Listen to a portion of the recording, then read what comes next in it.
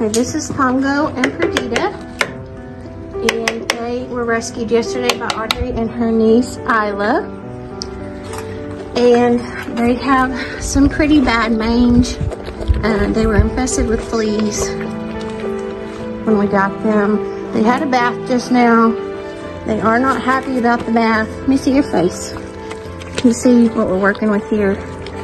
Um, but they are feeling better and they're eating well. They've had their preventatives and a shot and they're on the mend.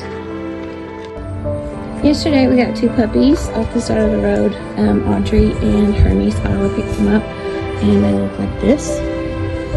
This is Perdita and we have named her brother Pongo and they just got a bath to help with their skin. They're not very happy with this, but they're gonna feel better.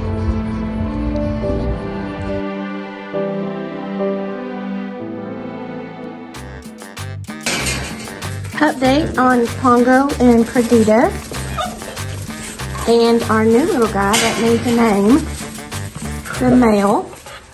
Um, Pongo and Perdita are looking much, much better. We've got hair on the backs and they got their second parvo shot today.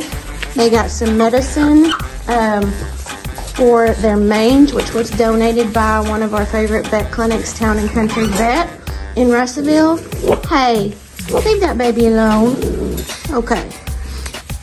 Um, I just wanted to say, like, mange, I get calls all the time. Um, mange is not a death sentence for a dog. It's easily taken care of with just a pill. And um, I get calls from people that say there's a dog with mange in my yard. It's going to kill my dogs. Um, that's not true. If your dogs are on flea and tick prevention, like they're supposed to be. I may take flack for that comment, but let's say like the vet uh, recommends they be. Hey, stop it.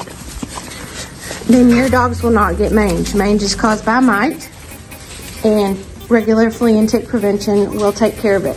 So these guys are on the mend. They're feeling good. They're in our luxury suite here in the barn. They have indoor and outdoor access. They're warm. They're cool. And if you want to help us name this little guy, we would appreciate it. Thank you.